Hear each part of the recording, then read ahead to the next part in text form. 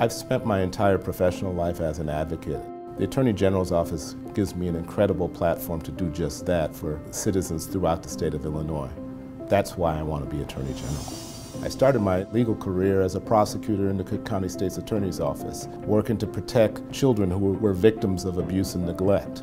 In the legislature, I'm proud of my work abolishing the death penalty in Illinois, reforming criminal and juvenile justice, standing up for victims, I'm proud of the balancing act that I've done with regards to criminal justice policy, and in the Attorney General's office, I can continue that work.